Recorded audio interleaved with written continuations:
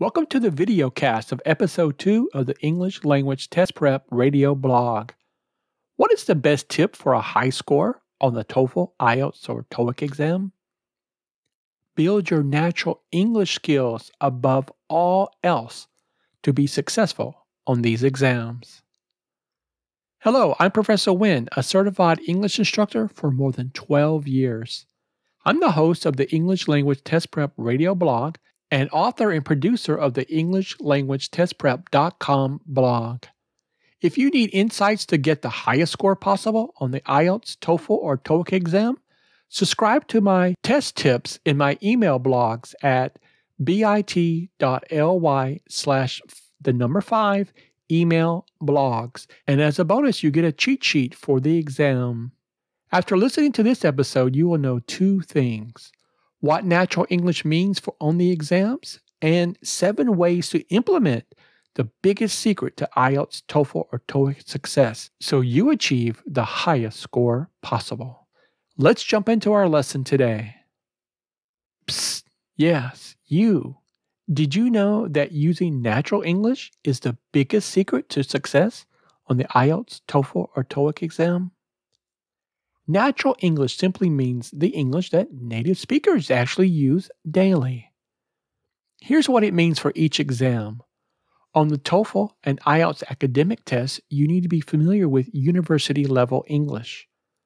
On the IELTS general, you need to be familiar with everyday English. And for the TOEIC listening and reading and speaking and writing tests, business related vocabulary terms and scenarios along with everyday English. From reading a newspaper to shopping for groceries, English flows easily and without thinking. That's exactly how your English should be for a high score on these exams. Forget the stodgy textbook English you learned in English 101. You're in the big leagues now. At this stage, your level of English fluency should be at the highest level for all of your studies. Now, seven secrets to boost your natural English. Be sure to visit the web post on my blog at bit.ly slash best and the number three test for all the links of the resources mentioned in this podcast. Here are seven secrets to build your natural English and a bonus tip. Number one, find out how you learn best. What's your preferred learning style? Are you better by yourself or in a group? Do you need to watch videos or can you learn from a book? Everyone is different. Find your best style and use it to speed up your English learning. Number two, read a newspaper to absorb a wider amount of vocabulary. Access usatoday.com and read the headlines and news about sports, finances, technology, and travel. Download the app from the Apple or Google stores and read the news wherever you go. Number three, speak English with clear pronunciation. Not like a native speaker, but with clear pronunciation. Access my favorite YouTube channels in this regard, like Rachel's English. Number four, pay attention to the intonation and rhythm of spoken English. Check out my favorite YouTube channel for this Elemental English. Again, all the links are found in the transcript for this podcast. Number five, take notes from reading an article or watching a video. Good note taking skills are valued on the IELTS, TOEFL, or TOEIC exam.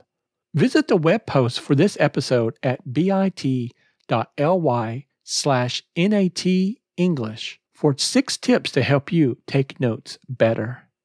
Number six, listen to music, a podcast, or the radio. Boost your listening skills. Make it fun. Do you have a favorite song in English? Find the lyrics and watch the video on YouTube. Number seven, build your vocabulary with the Word of a Day email. Effortlessly add to your reservoir of English words. Make the effort to learn one new word a day, besides your, your intense vocabulary learning. Check out my own video lessons of the top 50 terms for the test at bit.ly slash 50 vocab pay hip. Two excellent sites to sign up for the daily email for your vocabulary terms are Wordsmith and the Merriam Webster Dictionary, which can be Googled. Or again, you can find all the links to this episode in the transcript. Whichever, make sure you increase your lexicon before exam day and make intense vocabulary study part of your test prep. And one more thing the bonus tip. Talk with your teachers and friends who speak English well. Strike up a conversation and have them help you with collocations, idioms, or phrasal verbs. Now you have seven ways to boost your natural English on the TOEFL, IELTS, or TOEIC exam. Be sure to visit the web post at bit.ly slash NAT English for all the links mentioned in this episode, as well as the transcript for download. I'm Professor Winn. Please tell your friends about this podcast so they can boost their exam scores as well. Good luck on your English test. And by the way, do you have an English or exam question for me to answer? drop me a note on the Facebook page at facebook.com slash English test prep.